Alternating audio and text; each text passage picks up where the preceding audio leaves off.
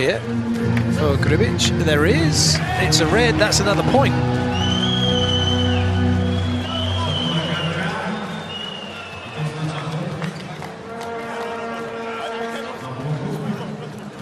Well, the team's already had a yellow card. It was uh, Ivovic got a yellow card. That's it. That's everyone's warning. So after that, it's a red, and then as a result of that, you lose uh, service.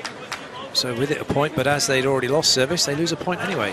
Vi mene razumete šta ja govorim srpski od početka utakmice? Zajebite sudiju, dobit ćemo crveni karton. Dobili smo ga. Ostavite sudiju na miru. Znači, samo ćemo se iznerviti. Daj da probamo to što je on debil, da iskoristimo mi i da ih pobedimo